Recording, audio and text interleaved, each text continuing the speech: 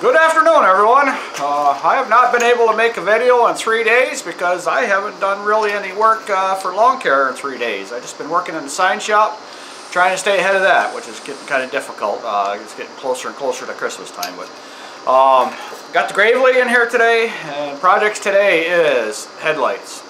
I'm going to put these Nilight headlights on which I buy from Amazon. They're not that much money. They're under $20. Uh, I have waterproof switch to put in there and, and of course a fuse to put in there.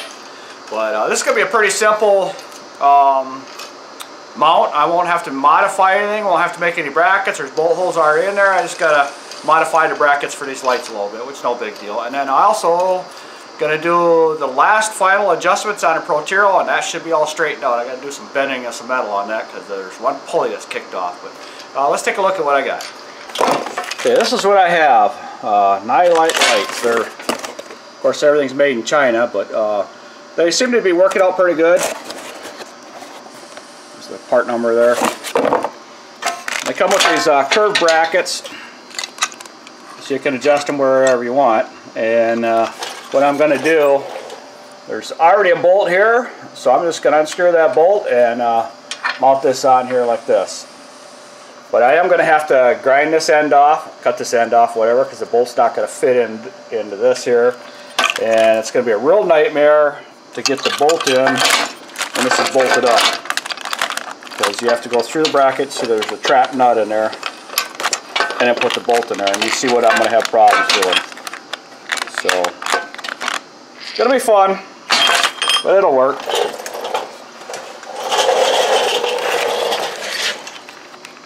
Protero pulley. This belt is straight, lined up. That belt is straight, lined up as best as I'm going to get that. It's pretty close. And this pulley is kicked down this way. So I have two washers in here. I'm going to take one washer out, possibly. And I am going to take this bracket completely off and put it in a vise and put a big old crescent wrench on there and twist this um, plate right here so this pulley will stand up a little bit because it's just bending too much, bending too much, uh, too much play in there and I, just, I don't know if you can see all that but it's uh, just kicked wrong and it doesn't line up right so I gotta try and line all this up to get that last bit of uh, uh, misadjustment I guess is what I'd say out of that so let's get started on this.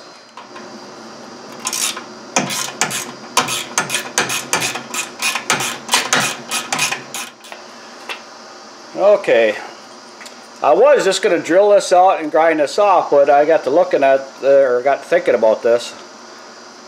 That's got a shouldered bolt on it, and even if I uh, ground this all off, this, uh, even if it wasn't shouldered, it'd still be hitting that. So I had to come up with something different, so I'm just going to go with the smaller bolt, which I'll probably have to hold a screwdriver up in there because I'm not going to be able to hold it tight there then just a nylock nut on the back. And that'll just bolt that right up and not be a problem with anything I don't think.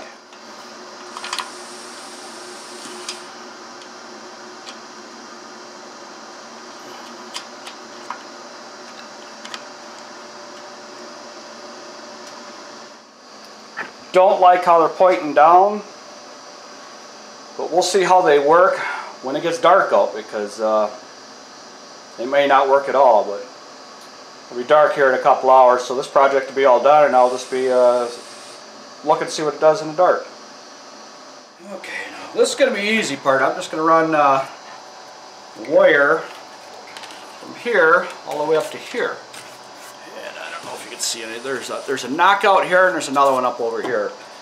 And I'll probably put the um, light switch on, uh, where you at? So I have a knockout right here and a knockout right there. I'll probably put the light switch right there, the toggle switch. This is made for a rocker switch, but I've got uh, toggle switches, so I'm just going to make them work.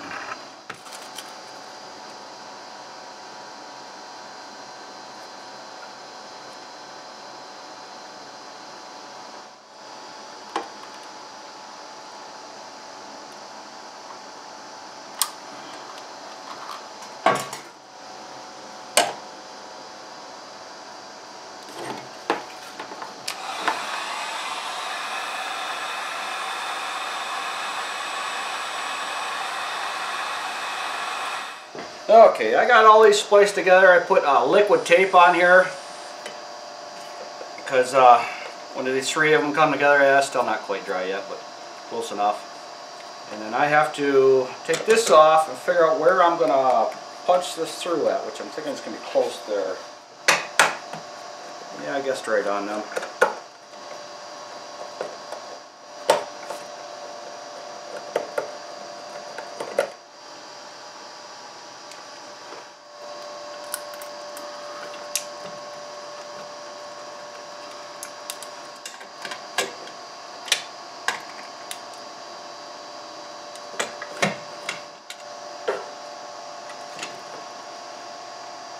Liquid tape.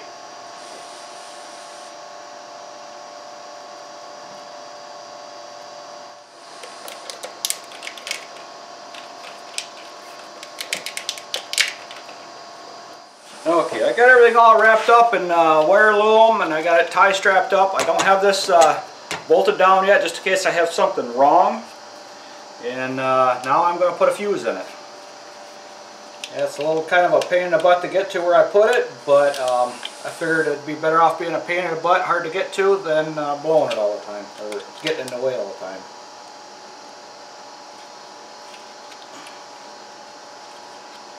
So fuse is in. Let's see how these lights look.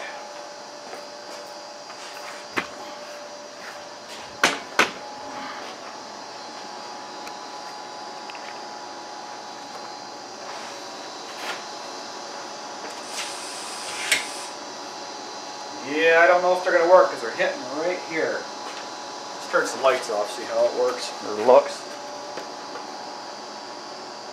Yeah, it might work. I'm not sure. They just might work. I might have to come in and do something with the brackets or change the brackets out on it, but they're bright enough. They're hitting right here, so I think I'm going to have to do something different with them. Probably put a different kind of a bracket in it. Okay, I got the front end of the mower up. Yeah, it's supported by jack stands and stuff because I might be wrenching around on this. Don't want it to fall off. So this is what I was talking about. You can see it looking at the side that this is just kicked off to the front. So I'm going to try a couple different things. Uh, more likely I will be bending this bracket. and take a little bit, but I can should be able to bend it. But uh, right now I have two washers in there because they usually work the best. And I had two springs on here, but I took the one spring off and it actually, uh, the belt's not as hot anymore. So that is helping quite a bit. And this has just got a, it's not a real good design. It works, but it's not perfect like it should be, or not real perfect, but closer, I guess. So I'm going to put shorter bolts on here, get the spring up higher. Maybe that won't pull down as far. And uh, like I said, just bend this bracket up just a little bit, I think. Because uh, everything else is good except for this right here. Because this is lined up good. This is lined up good because this is uh, pulling right in the center of the pulley. And it's, uh, you know, as best as you could do with this. So it's not touching anything, so that's good. And the whole time I was running this, uh, the, I put a 100 inch belt back on it, so put more slack in it. And it's not throwing a belt anymore. So I think a lot of it was uh, pulley alignment. And some of my error and some of uh, their error was set up there. But, you know, that's how you learn things is trial and error. At least that's how I learn.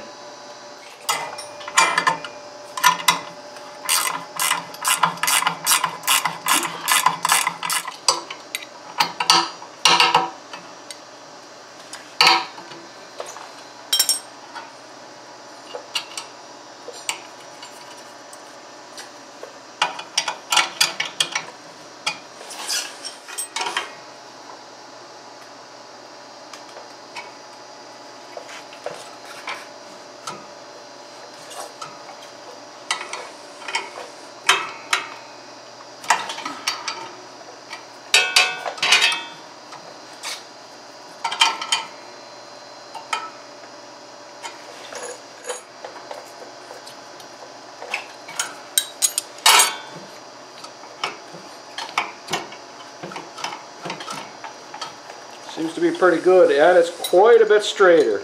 Not as straight as I want, but straighter.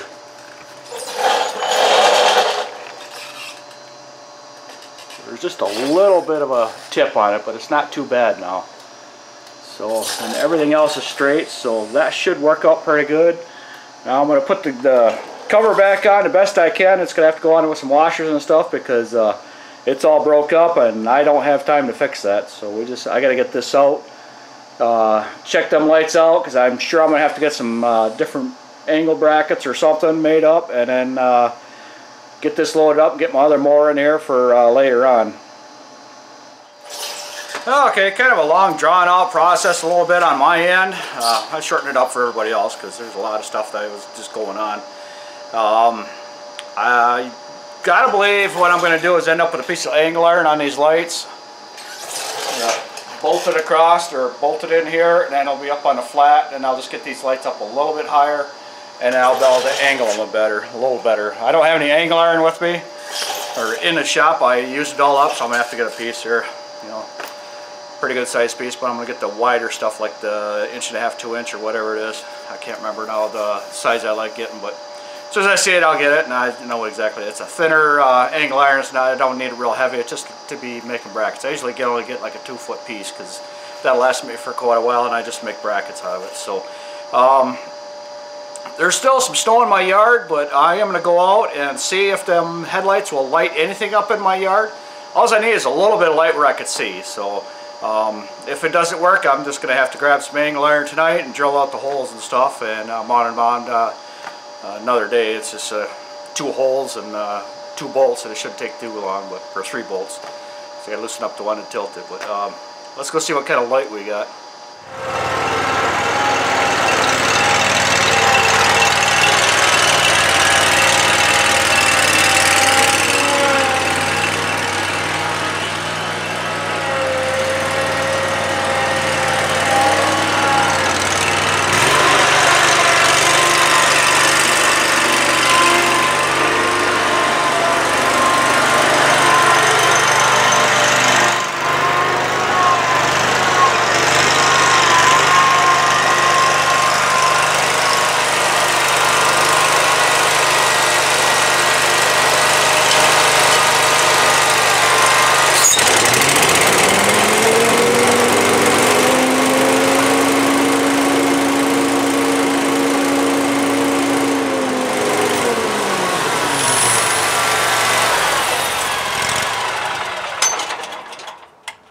Yeah, okay, there's not enough light there, so I'm going to have to uh, get some angle iron. I don't know what time it is right now.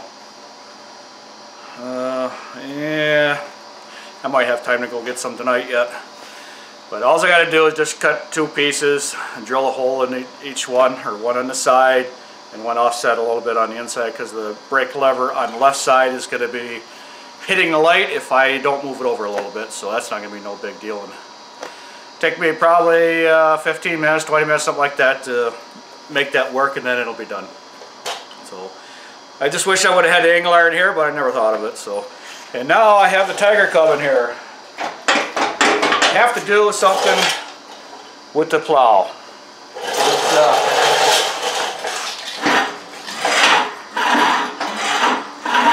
too much play in it, so I'm going to fix that. So that's the next project.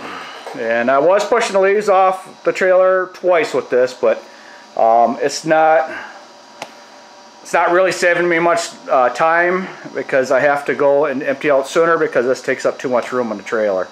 So I will not be pushing the leaves off of the trailer with this, um, but I will be using this plow to push leaves up uh, where I dump and uh, probably also in the spring to push up sod and everything. So that should work out pretty decent. So not everything worked out the way I wanted it to. I didn't get everything done the way I wanted to. The lights are on, but I can't really see with them. And um, I need to get out working tomorrow. Hopefully there's going to be enough snow gone. I'm not sure. I'm going to have to go out and uh, um, drive around a couple different spots. But I also have to get a tire fixed on my trailer because it's got a flat tire. So it's uh, I had them fixed uh, here about two weeks ago and another one's going flat again. So I'm thinking what's going on is where uh, my dump site is. I think everybody's bringing all their trailers in full of uh, leaves and everything, but didn't sweep them out, and they did all their construction stuff, and there's nails and screws and everything else in the trailers, and I think that's what's going on because this is the third time I'm going to have a flat tire here in, in, what, two weeks I think it is, or three weeks. So, yeah, it gets irritating real fast, but nothing you can do about it. So that's going to be it for me for today. Hopefully you'll see me out working in the next video, but we'll see. It depends on how the weather goes here. Now I'm going to have about one day to do a bunch of work, do a whole bunch of small yards and uh, one big yard, but uh, I want to get them all done tomorrow as much as I can because it's supposed to be raining the day after tomorrow, uh, like 70% for all day. So um, it'll get rid of the rest of the snow, but it's not going to dry nothing out for us. But we're supposed to have like a four-day grace period of no rain or snow, and it's supposed to be up near 40, so that's going to help us out. But, uh, like, subscribe, click the notification bell to be notified when the next videos are released. So thank you for watching. Everybody have a good evening, and we will see you at the next yard.